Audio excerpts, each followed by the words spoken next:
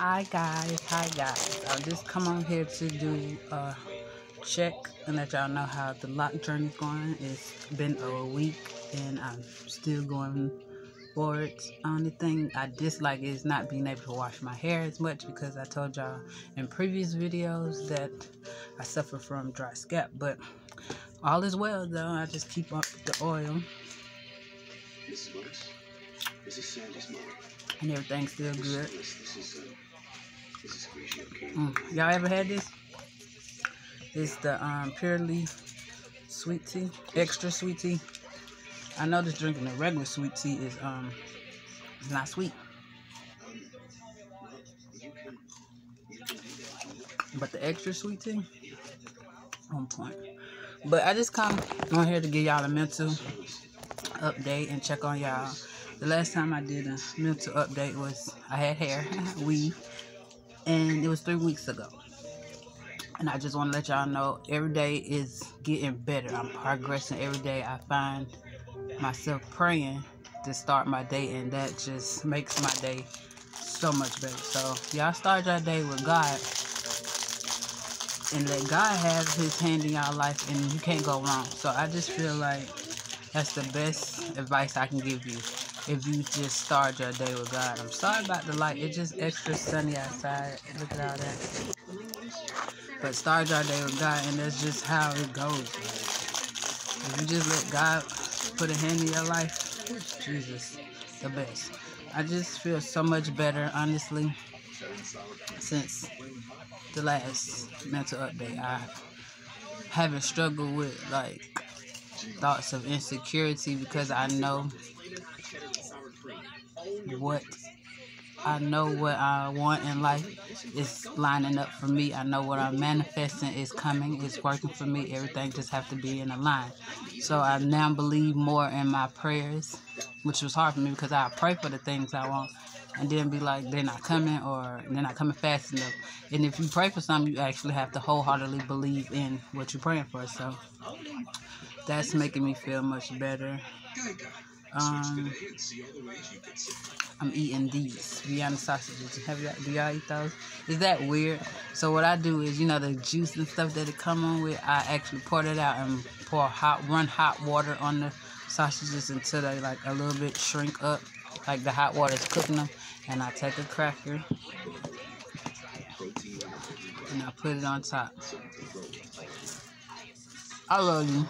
It's weird, but good for me. But anyway, yes. So um, I wrote down some notes that I wanted to leave y'all with and go get them. So not leave y'all, but discuss. Don't let the fear of failure stop you in achieving your goal or just doing anything that you want to do. You got to fail to succeed. That's how I feel. Like if you never fail, how would you know what to do different or how would you know to try something different? You know, like in school, I don't like failing the test, but it makes me know when I get to do the test over again what did I need to do different or you know what I'm saying? How to need to study harder. It just makes me feel better for the next time. If that makes sense. And um, change the narrative of what you feel about yourself. Like that's you have to literally change your mind to think different, to do different. Like okay, your past was your past, and you cannot say, "Oh, I'm, I ain't gonna never make it in life because of what I did." You can't focus your future on how your past was. You have to change the narrative of yourself. You can't think negative of yourself and expect a positive outcome of yourself and I'm also determined to change the narrative of myself. Like I know how my past was. I am not that person. I am not that person anymore. And in order for me to do better in my future, I have to literally know that I'm not that person and change my future and change myself so I can have a better future. So that's what I want y'all to leave yourself with. You have to literally change the narrative of yourself. Okay, you had a bad past, so what? That I mean your future is gonna be bad.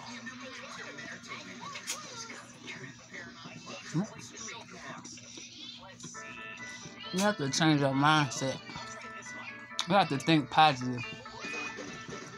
Just as much energy you take to think something negative is use that energy to think positive about it. Instead of thinking something negative, just switch it around. Instead of saying, "Oh, I ain't gonna be able to do it," yes, you will. Just say, "I'm gonna be able to do it."